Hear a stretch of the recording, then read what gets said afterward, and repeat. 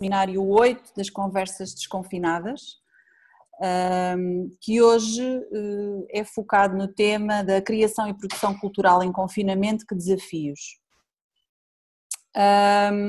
agradecer a presença dos meus colegas que co-organizam comigo este, estas conversas desconfinadas, nomeadamente a Tatiana e o Mauro.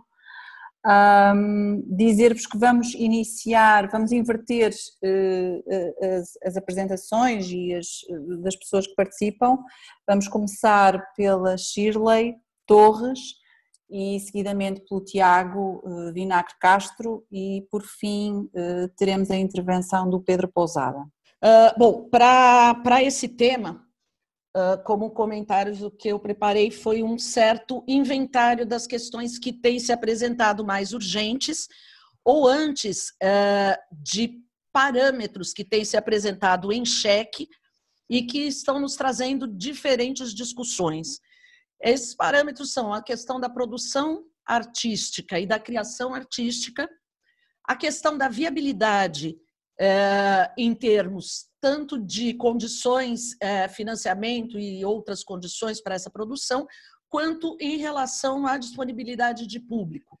E, uh, por último, um, uh, rapidamente, algumas questões que dizem respeito a como segue, como pode seguir uh, essa produção e como é que fica a questão de fruição, o que a gente pode ter de acréscimos ou de, de desafios maiores.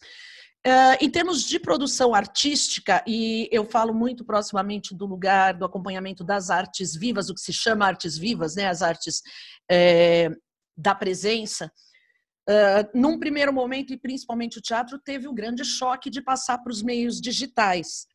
Então, a, a primeira mudança radical é a grande diferença no estado da presença. O que a gente tinha como uh, premissa para a realização desse contato, dessa ação artística, uma vez que o fato de estar ao vivo juntos, presentes, era primordial, a gente desloca essa presença para a presença digital. E o que se viu, principalmente acompanhando aqui no Brasil, foi uma discussão radical é, entre artistas e criadores. Isso é teatro, isso não é teatro. Isso se estendendo a outras artes. É claro que a música que se faz digitalmente ou a videodança também acabam tendo diferenças em relação ao que se pratica ao vivo. No entanto, o teatro tinha essa divisão radical de usar o digital como uh, mais uma ferramenta, como algo que se acrescentasse a essa presença. E uma vez que a gente está num momento, num momento do mundo em que a questão da presença, isso já antes da pandemia, a questão da presença é primordial uh, até para o que a gente pode chamar de construção de cidadania, de pensamento crítico, enfim, como a arte tem se apoiado na presença e na não presença, a gente vai começar a ver é, questões radicais nesse sentido. E uma delas é exatamente, principalmente no teatro, desse lado, com muito prazer, embora com muitas dificuldades, as novas descobertas para esse desenho de presença. Então, isso é uma das questões que se tem mais discutido. E a grande questão é o controle da relação se, eh, se discute muito até que ponto o artista tem o controle da relação. E enquanto a gente tinha as artes vivas trabalhando esse controle, jogando com o corpo do artista, com a imagem do artista e com a presença do público, há um corte radical em que essa disponibilidade de corpo muda completamente. E o que muito se discute é também até que ponto essa nossa necessidade de controle da relação é uma das questões que se apresenta como resistência. Por outro lado, é lógico que a gente vai desmanchando e criando novas relações para essas ações artísticas. É for, fora isso, é, que é a inversão radical dos elementos de linguagem, e isso também para artes visuais e outras que já se não, não se trabalhava como vídeo. E para as artes que se trabalhava de forma digital, também há uma radicalidade na mudança dessa escolha. Não se faz mais a escolha apenas por escolher. A gente tem visto também surgir, ressurgir o papel, ressurgir a carta. Então, acho que é uma questão interessante a se discutir que tem sido trazida pela pandemia. Outra questão que se discute é a escolha do público. Quais são as escolhas que esse público tem feito? É mais fácil ir ao que já se conhece tão proximamente e assistir a live do meu artista preferido, ou teria sido é, essa uma porta aberta para novos formatos? É uma pergunta que é, mal estamos conseguindo formular, talvez ainda, porque existe antes disso uma urgência de definir o formato que será possível para continuar existindo, ou para continuar a pesquisa, existir como pesquisa ou como financiamento. É, e, por outro lado, é, essa discussão, podemos aproveitar para ganhar novos públicos? O que, o que se faz? Se reproduz? E o que se faz? Se faz vídeo, se faz TV, se faz internet, ou se consegue fazer a, a mesma, trabalhar a mesma linguagem artística num outro suporte? Uh, em termos de produção artística, nós tivemos uma diferença, e aí temos diferenças é, entre o caso brasileiro e o caso português, obviamente.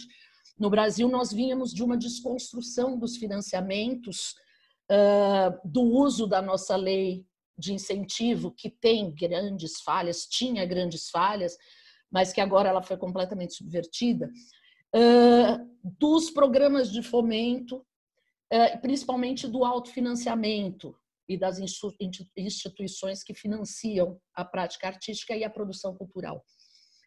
Então, essa enorme quebra de possibilidade de financiamento, ela também passa a, a mudar completamente o ritual, a frequência, a presença e a forma de captação de financiamento. Então, o que a gente tem, eventualmente, é uma produção exagerada, na tentativa de uh, conseguir se viabilizar. Por outro lado, começam a surgir caminhos interessantes em que é, o financiamento coletivo surge, em que as pessoas têm mais proximidade, é, eventualmente co podem conhecer novos trabalhos. Uh, fora isso, a gente tem, por outro lado, também uma radicalização da diferença. Quem tem acesso e quem não tem acesso, e aí eu digo como público, né? o público que pode acessar ou não. É, a gente acaba tendo um agravamento é, de algumas questões que surgiam para os financiamentos, que é essa escolha do recurso agora escasso para onde ele vai.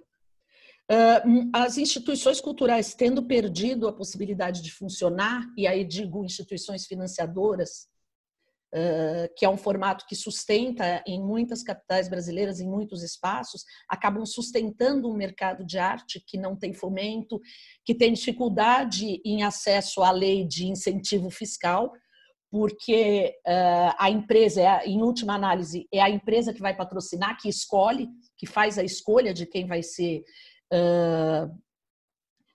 beneficiado, entre aspas. Então, em determinados lugares não há interesse. Sempre então, houve essa diferença. E hoje a gente tem essa diferença radicalizada. Claro, isso é uma questão óbvia, mas é um ponto como mais um ponto que pode ser discutido nesse fórum. Uh, em termos de artes vivas e eventos, a gente tem também a, a ruptura da circulação na cidade e a ruptura, a ruptura da viabilidade econômica dos espaços. A gente agora às voltas, aqui no Brasil estamos às voltas com abrir proximamente esses estados. É, na minha experiência pessoal de trabalho, a gente se depara com o seguinte: qual é a nossa função, uma vez que a gente não está falando de uma instituição que vive do ingresso? Será que a função é trazer as pessoas mesmo para esse espaço? Ou será que a questão é que as pessoas fruam das novas possibilidades de convivência, mas é, ainda mantenham a consciência crítica em relação à própria saúde e as questões de sobrevivência que envolvem é, essa presença. Então, é fato que, independente de questões, de financiamento, nós teremos daqui em diante uma mudança nos valores, valores. Uh, no sentido de importância e que significado tem a arte, até que ponto eu me desloco, até que ponto essa vivência me é importante. E isso digo principalmente às artes vivas e que geram eventos, né? E, e com as desculpas de usar o termo francês, mas acho que nesse exemplo é o que cabe mais, né? é, que, que, são as artes da presença.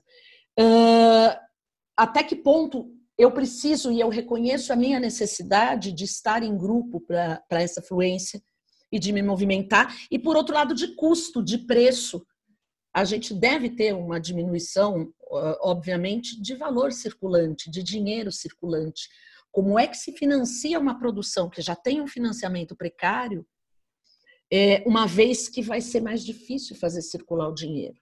Por outro lado, a gente tem uma resposta, que é o crescimento dos financiamentos coletivos, é, o crescimento e o fortalecimento de redes de, de frequência é, digital aos espaços de cultura, aos bate-papos, quer dizer, isso vai crescendo de, de uma forma uh, bastante importante.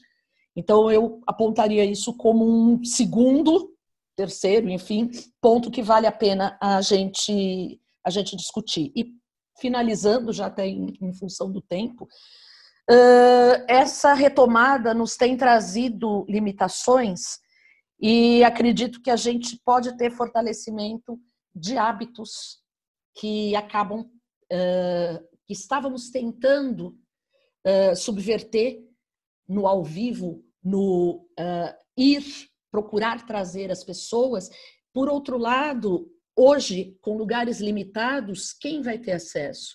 A gente tem percebido que, em relação ao turismo, por exemplo, é, ok, 100 pessoas por dia vão entrar no museu. Quem são essas 100 pessoas? Quanto vai custar isso? Quem são as pessoas que vão poder reservar o espaço digital num centro cultural para ir assistir a um espetáculo? Então, é muito possível que, tanto porque as pesquisas ficaram interessantes, quanto é, porque temos, uh, nos habituamos e não vamos sair tanto de casa, talvez, ganhamos um novo canal.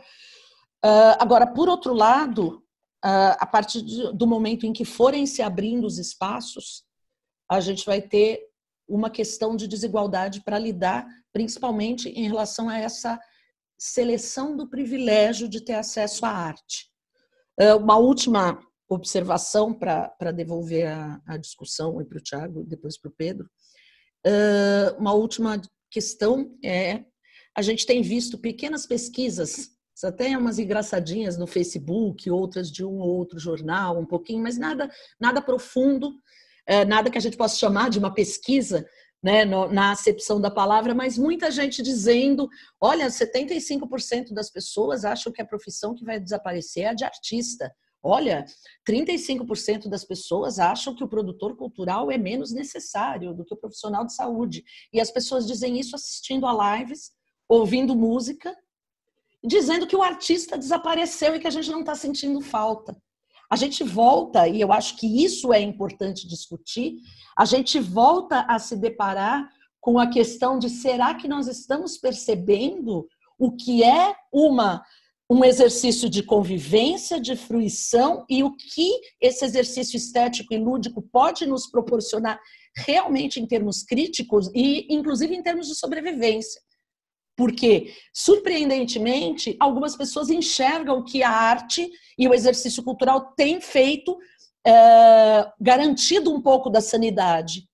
Agora, maiorias, que a gente não sabe que maiorias são essas, de onde vem, né? Mas que a gente encontra no bate-papo, no WhatsApp da família, encontra dando entrevista na televisão para o repórter da rua, dizendo que a arte continua supérflua e a cultura continua um luxo. Então, acho que essa é um pouco as, as provocações que eu consigo enxergar num, num primeiro momento. E muito obrigada pela atenção. Obrigada, Shirley, pela, pelos teus comentários e pelas tuas reflexões. Eu passava agora a palavra ao Tiago. Olá, boa tarde. Um, no seguimento do que a Shirley disse, um, eu recordo-me logo de um cartoon que vi logo quase no início da pandemia, que era um, um cartoon muito interessante que tinha um avião de fundo, um piloto e um artista. E o artista dizia ao piloto: se não consegues uh, viver do teu trabalho, se calhar tens que torná-lo num hobby. E isto é, no fundo, a grande percepção da maior parte da sociedade, quando vemos precisamente estes estudos que dizem quando perguntam qual é a prioridade das diferentes, das diferentes profissões. Por exemplo, no Reino Unido, 71% dos inquiridos diziam que artistas ou do setor cultural eram inúteis. Numa lógica de pandemia e de sobrevivência, obviamente que as prioridades alteram-se e é precisamente isso, mas o consumo cultural totalmente concentrado na, na internet, online, eh, foi maior do que nunca. Ehm, e a produção em contexto online foi brutal. Mas, obviamente, que em alguns casos, nem todos os artistas produzem eh, para o formato online.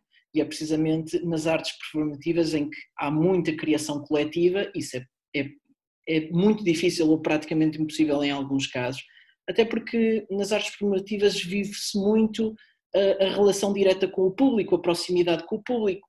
Há, o próprio artista alimenta-se dessa mesma energia para o espetáculo crescer. Eh, eu falo da, da minha experiência pelo, pelo teatro um, e eu também alimentava-me muito disso. Um, e eu, no fundo, vou partilhar um bocado que são ideias que tenho vindo a discutir com vários, com vários colegas e, e amigos do setor.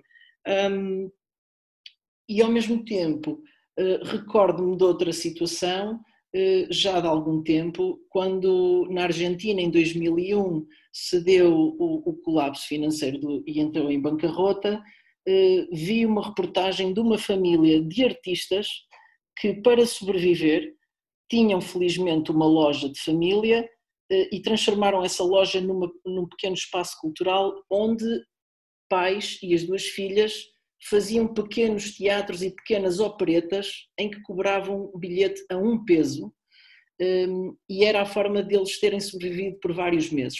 Era a área do seu trabalho um, e, era a forma que eles tinham para continuar a trabalhar e, na altura eles disseram que era uma questão de sanidade mental, poderem trabalhar naquilo que gostavam e obviamente que tinham que apertar os cordões à bolsa para poderem sobreviver, mas que não queriam abdicar de trabalhar naquilo que mais amavam. E isto é um bocadinho sintomático eh, desta precariedade eh, permanente que existe no setor cultural e criativo, que muitas das vezes vimos estando a debater, mas nunca se resolve efetivamente. Ao mesmo tempo, por exemplo, este caso não seria possível em Portugal, porque nós à luz da nossa, da nossa legislação, não é possível criar um pequeno espaço cultural sem uma quantidade enorme de licenças, sem uma quantidade enorme de regras, hum, que, lá está, varia de país para país.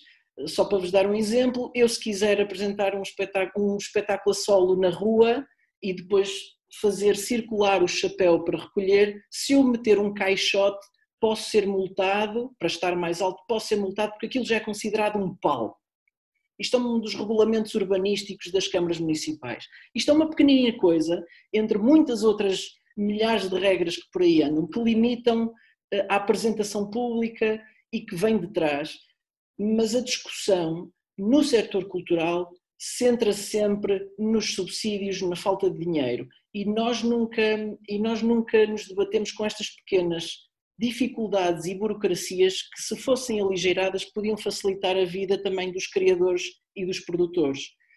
Por exemplo, se compararmos até ao nível da, da, da apresentação da música ao vivo em bares e outros espaços, o número de licenças, de regulamentos, de taxas que tem que se pagar desincentivam isso e, obviamente, que não há mais músicos a criar para esses formatos e então limita-se aos, aos, aos locais e aos formatos habituais em que têm que ser contratados ou por câmaras ou por salas especializadas que, que fazem esse, esses acolhimentos.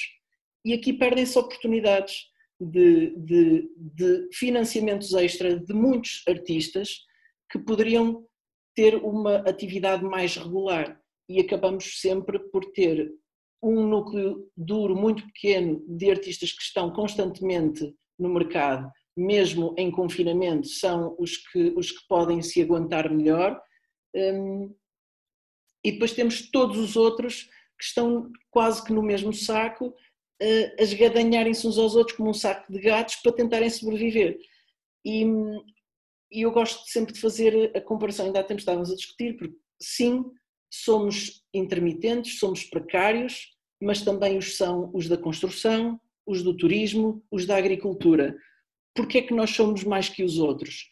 Porquê é que não nos unimos todos? Porquê é que todos os trabalhadores precários não se unem e ganham mais força e exigem de facto que se altere qualquer coisa do ponto de vista legislativo e até do formato como são pagos os impostos ou como se fazem as contribuições, de maneira a que a longo prazo possamos ter uma vida melhor eh, e possamos dedicar-nos naquilo que é mesmo importante. Até mesmo o sistema hoje em dia de concursos, há cada vez uma maior exigência para a questão de a criação artística tem que incluir a inclusão social, tem que incluir isto e aquilo e aquilo outro, mas a gente esquece que o criador não é um, um, um assistente social e muitas das vezes, como eu já me deparei, estou numa situação em que estou a lidar com situações que não são enquanto criador. Eu estou a lidar com problemas sociais de uma comunidade com quem eu estou a trabalhar. E ninguém me paga mais por isso. E eu não me importo porque eu quero criar com aquela comunidade. Mas muitas das vezes os criadores, os artistas e os agentes culturais são, são colocados em, em contextos de grande dificuldade para criar, precisamente para criar e produzir com qualidade, e a gente faz porque a gente gosta, mas depois precisávamos de maior apoio por trás. E, e isso também não é refletido nos próprios apoios, nos próprios, no próprios, nos próprios financiamentos. É, fala-se muito nas equipas multidisciplinares, mas depois o orçamento é curto, não é? Hum, por isso, acho que em termos, em termos, voltando à produção, quem já trabalhava no, no contexto de, de, das redes sociais, no online, viu a sua produção crescer brutalmente. Youtubers, bloggers, malta que nunca trabalhou que trabalhou sempre no online, viram o seu trabalho uh, a crescer. Um, e a continuar a receber um, as suas royalties, porque muitas, muitos deles nos seus canais é através de publicidade, é dessa visibilidade. Mas os outros criadores que estão no formato, digamos, mais mainstream ou mais tradicional, que depois entram para esse, não têm essas benesses porque estão a começar nessa área. Portanto, há aqui, há aqui um, um paradoxo e, e, um conjunto de dificuldades que de facto têm que ser discutidas, e, e eu acho que, parafraseando um amigo meu, que é criador e, e, técnico também, em que ele diz muitas das vezes que o maior inimigo do agente cultural é o próprio agente cultural, porque, porque acaba por ser, a discussão acaba por ser uma, uma pescadinha de rabo na boca e andamos sempre nisto, porque isto é uma discussão ad eterno, hum, mas são poucas as soluções que surgem. E, e de facto tem que haver uma transição para isso. O que é que aconteceu agora? E, e, e termino com, com, com, uma imagem que, no fundo, é uma metáfora, que é como eu encaro o, o, o criador. O criador é, no fundo, um, um trapezista equilibrista que vai no arame, agarrando a sua vara, tentando chegar ao outro lado e de repente surge a pandemia, ou seja, o cabo parte e fica sem apoio em alguns casos tem rede, na maior parte dos casos não tem rede e esbardalha-se completamente no chão. E isto é a realidade de muitos artistas que estão neste momento a, a, viver de apoio, de um apoio muito pequeno da Segurança Social e, na maior parte dos casos, de, de apoio de amigos um, e de familiares. Mas há muitos também que não têm essa base uh, familiar que lhes dê suporte, e há casos dramáticos, mas também os há noutros setores. E é isso que a gente nunca pode esquecer muitas das vezes falamos sempre dos nossos problemas do setor a que fazemos parte, mas eu acho que cada vez mais, enquanto sociedade, temos que ter um olhar cada vez mais transversal e pensar que no setor ao lado, e principalmente no turismo e o da cultura, que são dois setores onde eu trabalho muito e, e que vivem um do outro, porque se, por exemplo, se formos a ver, o setor cultural reclama pelo 1% do, do, do, do, do PIB para investimento, mas se formos a ver o investimento das câmaras municipais, hum, em alguns casos chega aos 4% anuais. Ou seja, as câmaras municipais já há muito tempo perceberam que investindo um euro na cultura vão ter um retorno de 3 ou 4 ou 5 euros por cada euro que investem. Hum, mas muitas das vezes estamos a falar também, lá está, dos tais eh, espetáculos gratuitos apresentados em que o retorno vem pelo consumo da economia em torno desses mesmos festivais. E isto coloca precisamente o artista e os criadores numa posição quase de dependência de ir a estes, mas depois a sociedade no geral, o público no geral, não está habituado a pagar pela cultura e a valorizar, ou seja, eu acho que falta uma cultura de cultura, ou seja, a própria valorização de que aquilo é importante. As pessoas não, não, não valorizam. E se, e, se um, e se um artista deixar de aparecer porque mudou de vida, as pessoas automaticamente vão viram-se para outro artista que esteja na berra. E é assim, não, não, há, não há essa percepção e eu acho que isso é um bocado meia culpa ou nossa culpa, nossa culpa de, de não mostrarmos mais isso enquanto setor. É, é, são estes os meus, as minhas achas para a fogueira, por assim dizer. Obrigada, Tiago. Um, passava agora, se calhar, a palavra então ao Pedro, Pedro Pousada. Olá a Obrigada, todos. Pedro. Obrigado eu pelo convite. Uh, começar por faz esta esta situação, a posição social e, as, e, a condição, as condições de existência e de dos artistas na contemporaneidade e ao longo da história fazem sempre relembrar a história, a fábula da, da cigarra e da formiga, não é?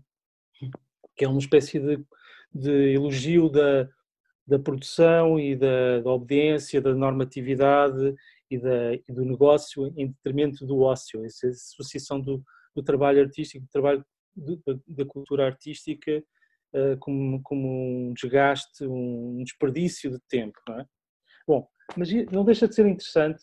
Uh, uh, eu estava aqui a pesquisar também, não só para este, para este debate, mas encontrei um, num texto da Ana Arendt sobre a crise da cultura uma referência muito curiosa, aparentemente já na Grécia Antiga, por um lado os gregos elogiavam e faziam um, um enorme uh, valorização do trabalho escultórico durante os grupos escultóricos produzidos por Fídias, em particular uh, nas suas cidades, em Atenas, Olímpia, uh, ao mesmo tempo uh, faziam um comentário de que os artistas, os artistas, os escultores, em particular, os músicos, os poetas, isto não era só uma, uma premissa do, do Platão, os, os, artistas não, deve, não deveriam usufruir os privilégios da cidadania. Ao mesmo tempo que se diziam, quem não viu o, um, a obra de Fídias em Olímpia viveu em vão, defendiam que os, eh, os, estes, estes, mesmos autores não eram dignos de serem cidadãos.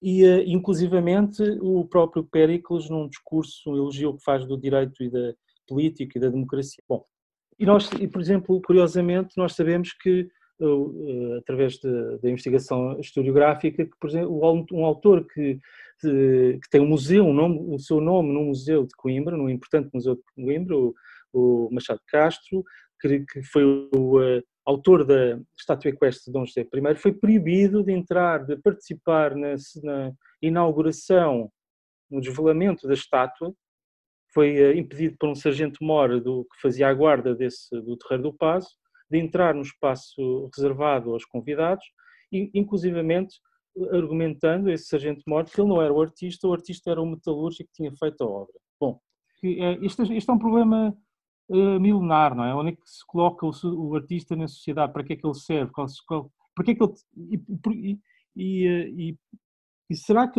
é necessário definir uma função específica, uma, uma relação específica do, dos produtores culturais, dos artistas, que, que quisermos uh, designar, eh, para com a sociedade, eles têm uma obrigação, obrigação de, de, se caracterizarem, de se hiperdefinirem perante a sociedade, isso também é, é, é outra das questões.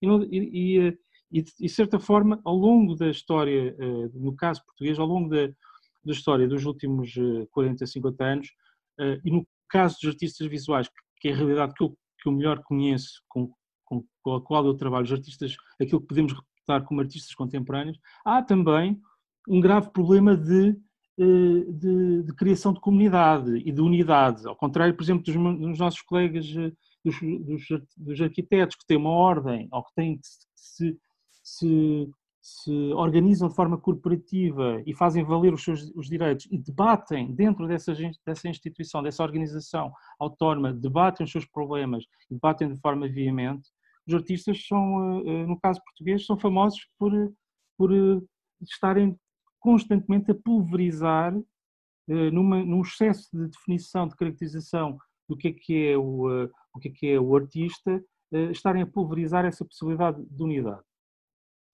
Recentemente, no contexto do confinamento, surgiram várias hipóteses de, de organização do, dos artistas visuais, dos artistas contemporâneos, em supostos grupos coletivos, e que, curiosamente, impunham definições que não se adaptavam, não se moldavam, algumas delas propostas por artistas já com uma carreira consolidada, mas que propunham, por exemplo, se definisse como artista aquele que, estava, que ingressava numa, numa galeria de arte, que tinha uma produção reconhecida pelos seus pares, o que nós também não sabemos muito bem o que significa isso em concreto, que tipo de legitimação é essa, e, e portanto, os próprios artistas tendem a, a, cair em processos de elitização e de conflitualidade interpares, que estranhamente acabam por diminuir o seu poder de, de, de influência uh, em relação ao, ao, Estado, em relação às estruturas que, de, que, administram, que fazem a gestão dos dinheiros da cultura. Por outro lado, parece-me que, uh, que, é uma evidência que nós, que, a cultura em Portugal é sempre uma, uma um eh, filho bastardo da, das preocupações do, do, dos governos e que serve muitas vezes como ferramenta de propaganda. Ainda recentemente, ainda ontem, tivemos uma, uma apresentação da coleção do Estado, um, um acontecimento importante, sem dúvida, num contexto também uh, de tentativa de resolução, de democratização do, dos processos de aquisição de obras de artistas vivos, mas que ao mesmo tempo foram, foi construída, toda a apresentação, a sua mediação pública foi construída como um exercício de propaganda e não como uma normalidade, não como uma, um gesto, um ato de normalidade no contexto atual, ou seja, de que o Estado finalmente vai assumir as suas, as suas responsabilidades para com a cultura, do seu, a cultura artística contemporânea do seu país. E, e, e essa relação se vai fazer sem, sem uh, se tornar uma espécie de veículo para a apresentação do, do, dos governos como amigos dos artistas e os outros e outros governos como menos amigos dos artistas. E, e, e, o que o que se releva aqui é a sensação de que os próprios artistas uh, adquiridos pelo Estado se rendem a este, a este tipo de eventos, a este tipo de, de, de acontecimentos que, são, que ao mesmo tempo são espúrios, têm uma dimensão relativamente uh, pequena e pouco, e pouco uh, uh, eficaz em relação à realidade, à, à preocupante realidade de, de, pauperização, de precariedade profissional, de, de mesmo de, de, pobreza extrema em que estão a viver muitos artistas que estão-se estão a encontrar em situações bastante dramáticas ponto de vista pessoas que, têm atividade uh, há já bastante tempo e que com família e que estão a viver em situações precárias muito graves. E, portanto, uh, o, que me parece uh, evidente é que o Estado tem essa capacidade, se o tem para salvar bancos e entidades privadas, financeiras privadas, também o tem para resolver, para devolver dignidade aos trabalhadores da cultura deste país. Agora, se existe a vontade política de facto para que isso se torne uma, uma norma, um cotidiano, se torne regular, seja, seja constituído como uma, uma referência de trabalho, eh, isso eu não sei. Por outro lado, eh, eh, é evidente, o próprio, numa entrevista, o próprio Marcel Duchamp comentava que as sociedades podem existir sem arte e sem artistas, perfeitamente. Isso, é uma, isso existiram durante muito tempo numas sociedades onde a ideia do artista, do conceito de artista e de arte não existiam. Isso são outras coisas que nós podemos associar do ponto de vista antropológico e, eh, e eh, estético à ideia de arte, mas que não o eram, não desempenhavam essas, essas uh, tarefas. Uh, a questão central aqui também é, é perceber o que é que, o, como, é que os, uh, como é que os artistas podem resgatar resgatar-se eles próprios da imagem que foi construída por os lugares comuns, estereótipos que foram construídos ao longo de, destes uh, 50, 60 anos, desde, digamos, desde as, o início das neo-vanguardas, resgatar-se de uma imagem de alguém que faz qualquer coisa, que faz qualquer coisa sem valor uh, evidente, sem valor, sem sofisticação, sem, sem, sem demonstração de perícia, sem uma série de, de premissas para as quais a grande parte da população uh, uh, associa à ideia de arte. É? Como é que isso pode acontecer? Como é que isso se pode manifestar? Eu acho que uma das, uma das, um dos veículos para, para esse processo se, se consolidar e, e, se, e se tornar parte integrante da nossa sociedade é através da escola, através da, das, eh, eh, da educação artística nas escolas. E o que nós temos vindo a verificar nos últimos 20 eh, anos é uma diminuição da importância da educação artística no ensino básico e secundário do, em Portugal. Quase que se tornaram residuais os tempos letivos, o número de professores, a importância, inclusivamente, da, da, do, quase como um centro nevrálgico do contacto dos jovens em relação à cultura, muito, para muitos jovens portugueses, a sua relação com, a, com, o teatro, com as artes dramáticas, a sua relação com a literatura, com a poesia, com a fotografia, com as artes visuais, se, se concretiza a partir deste, deste desta plataforma. É? Lugar, lugar essencial que é a escola. E cada vez mais me parece que é, nesses, é, é, é também nessa, nesses uh, espaços que se, deve, que se deve investir e apostar cada vez mais, valorizar cada vez mais o papel a desempenhar, quer pelos artistas, quer pelos educadores relacionados com educadores artísticos, para criar públicos, para criar sensibilidade, uma sensibilidade coletiva em relação àquilo que se passa uh, uh, que se passa na nossa sociedade e na, na, relação dessa sociedade com o património, com a cultura, com os seus autores, com os seus cineastas, com os seus de, uh, poetas, com os seus artistas plásticos, e essa relação se tornar uma relação de, de, saudável, uma relação de diálogo e não de antagonismo, nem de, de descrença, nem de desprezo, nem de indiferença. E era este o meu contributo. Obrigada, Pedro, um, pelo teu contributo. Um, dizer da nossa parte que esta é a última sessão antes das férias, das conversas desconfinadas, que retomamos agora em setembro, no dia 1 de setembro, com uma, o seminário número 9, uh, intitulado Que farei quando tudo arde? Diversidade e relações de cuidado em pessoas acima dos 60 e, portanto, deixar já aqui o convite para esse mesmo dia, às 16 horas, como sempre, agradecer a todos a presença